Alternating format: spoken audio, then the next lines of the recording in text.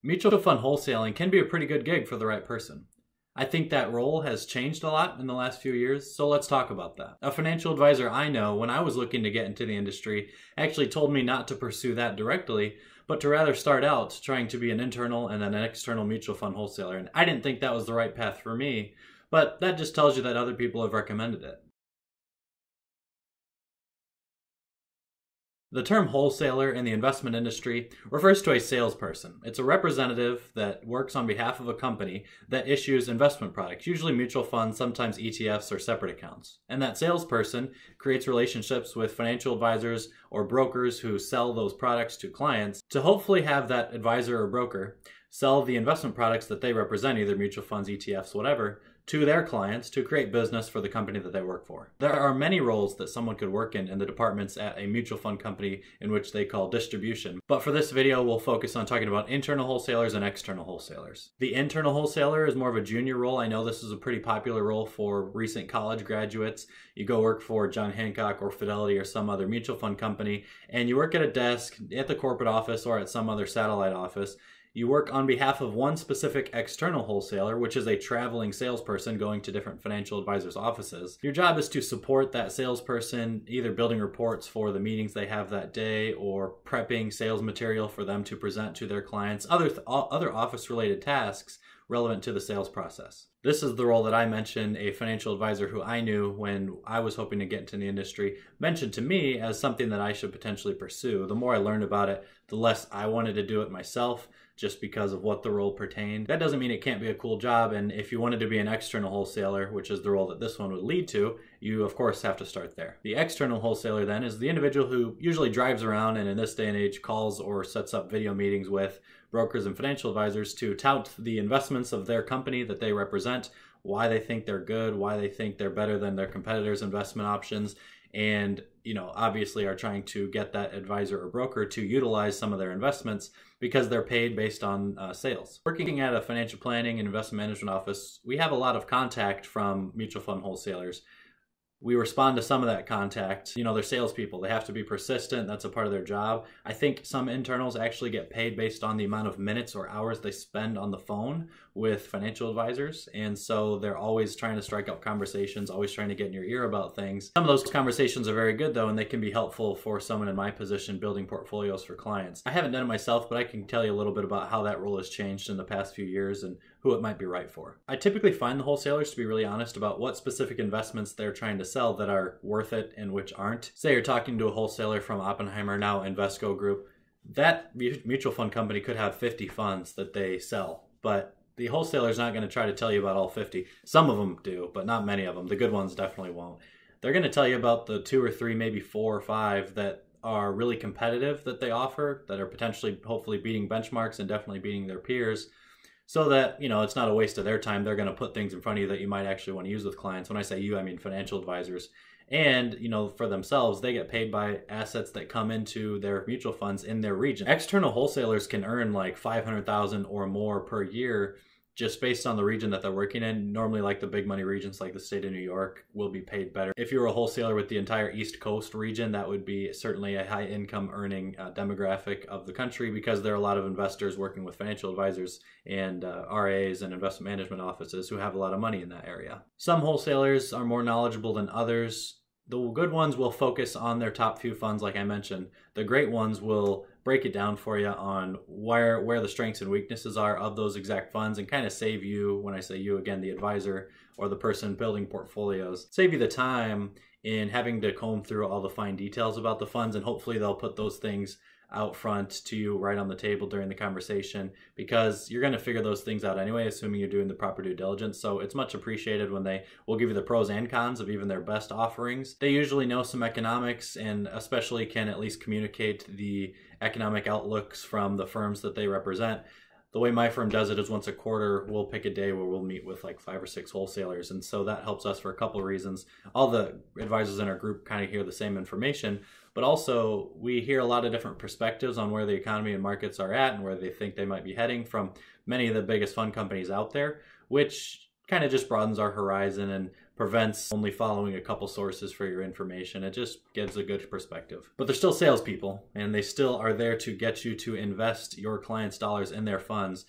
I don't love working with them, to be honest, because I see part of their role, and I'm sure a lot of them see part of their role as making them like you, which is a translation for creating a conflict of interest. In any case where a financial advisor has ever sat down and look at two investment offerings that they want to be using with their clients that are pretty similar, but they've said, you know, between A and B, oh, well, I like the person that works at B company. I'm going to use that fund. That's not a prudent way to make investment decisions. That, you know, you chose it based on a personal relationship. That is a conflict of interest that the wholesaler planted in your mind. And that would be a win from the wholesaler's perspective, right? Because they won your business by being nice to you or supporting events. They can sponsor you, they can pay you money for events you're putting on, they can take you on golf trips, things like that. They have limits to that.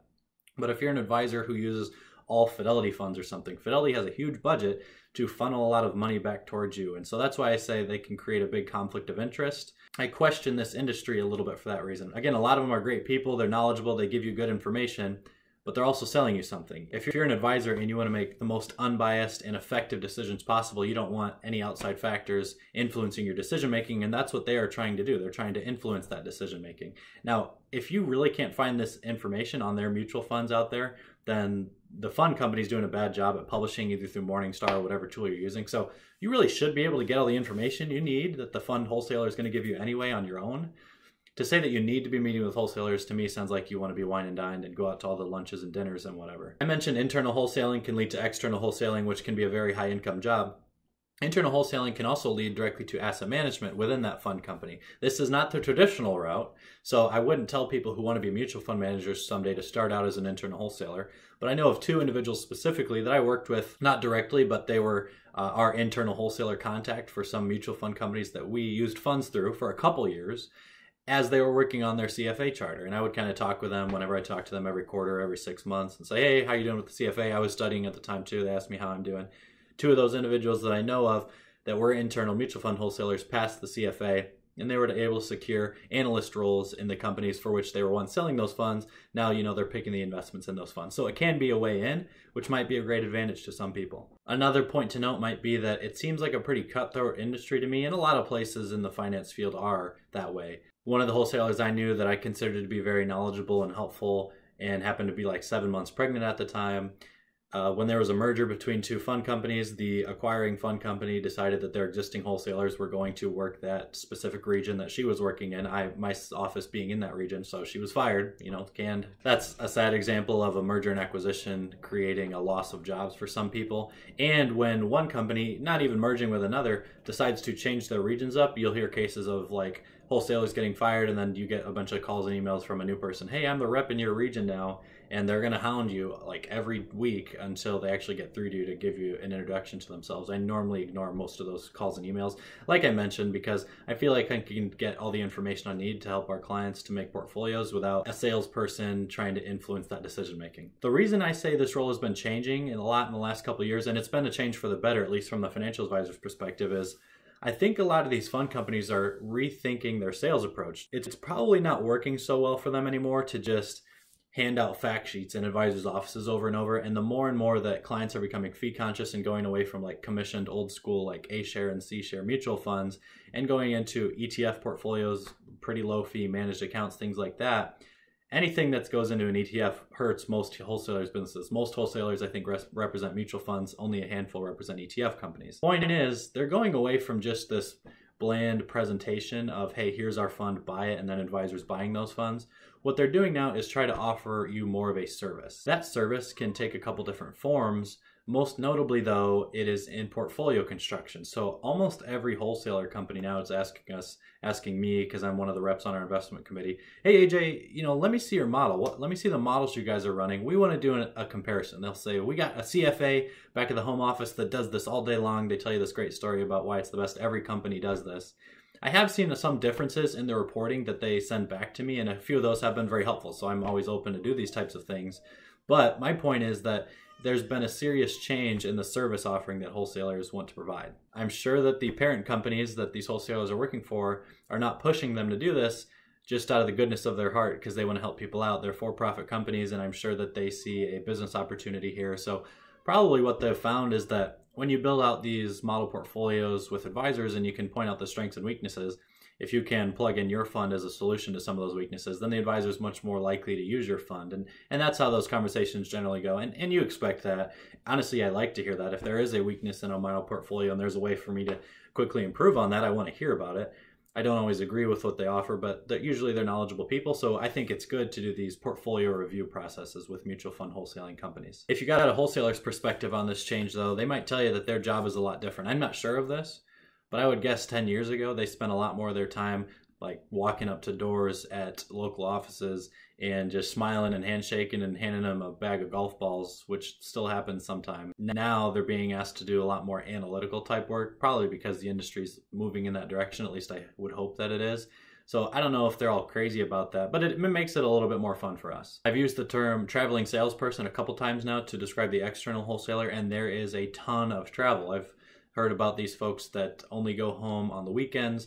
I worked with one wholesaler on a fund that we ended up investing in. He lives in Atlanta. He's like has half the country, and he goes home once every other weekend for just uh, Saturday morning to like Sunday afternoon. Then he's gone for another two weeks, traveling, usually driving rental cars around. I mean, he'll fly to Regents and then drive around in cars to get to different offices. So, really, never home. I don't think this is a great job for someone with a family that has to uh, meet some obligations in their home life. It's definitely something you would want to know if you're considering becoming an internal to hopefully potentially become an external wholesaler, you're going to be on the road a ton. I'm thinking of a couple other firsthand points I might throw in about what a wholesaler is. And uh, I always think about that they have nice suits. It seems like wholesalers have some kind of minimum expectation in terms of the suit quality that they put on every morning because they always have really nice suits on with like expensive watches and really tight uh, ties with the with the dimple just right. They always look really well dressed. They are really well dressed. Shoes. I've never seen a scuff on a wholesaler's shoes. They make good money, like I said, but I think they got to be forced to spend a certain budget on their clothes. Maybe the fund companies provide them because they're always super well dressed because they're salespeople. They want to look impressive. I'm sure there's a ton of rejection for them. I know as a member of our investment community, the majority of calls and emails we get from wholesalers don't get any response from us. I could spend two hours a day talking to wholesalers. I'm sure they would love the heck out of it. I just wouldn't get as much done myself. So they have to run into that a lot with other people, I'm sure. Probably every 20 phone calls they make, they get someone to pick up or call them back. Have to be okay with dealing with a lot of rejection if you wanted to get into that role, which is probably the case with most sales roles anyway. I could also see regulators cracking down on this position a little bit for some of the reasons I mentioned earlier around creating conflicts of interest. It just doesn't seem like that clean of a of a business to me to be selling. It's it's almost I consider it similar to sales reps for pharmaceutical drugs in the United States. Why doesn't the doctor just know of the pharmaceutical drug offerings out there and then have the conversation with the client and make the best recommendation? I see my job similarly why shouldn't I just know what investments are performing best out there to recommend those to my clients? Why do I need Pfizer's person and Eli Lilly's person telling me, hey, buy our drug, buy our drug, when I should do, be doing the independent work on my own? That's just my perspective on it. If financial regulators ever did crack down on the activities that mutual fund wholesalers can partake in, you could see that industry potentially go away completely. I wouldn't be surprised if anyone watches this video in the year 2070 if there's no such thing as mutual fund wholesaling anymore. So that we might be going in that direction, but for now, I think it'll still be a viable a career alternative if you wanted to consider it. It can also be really helpful in kind of hearing some of the financial advisor gossip in your area because they go to most of the offices around, not just through whatever broker dealer you might clear through, but they'll try to get into like all the independent offices and everything else. Some will be only assigned to the wirehouses, Morgan Stanley, Merrill Lynch, whatever, but most I think are agnostic towards the firm or the business structure that they're selling to. So anyway, you know, if you want to hear about advisors that are like jumping ship or quitting or really like their job or what investments they're using, the wholesalers can be a good place to get that information. They all kind of know each other. Like, and I mentioned our structure at my firm is we'll have several of them come in during one day. So when one's leaving the lobby and one's coming in, they're always talking it up. It seems like they all get together for some reason, probably just for what I mentioned, passing by in, in lobbies. But I don't know, it's just kind of weird. It seems like a maybe a tight knit community, even though they're all competing for each other's businesses and sometimes jobs. Let me know if you have any comments down below. Happy to get back to anyone on anything. I always read all through them. And as always, thanks for watching.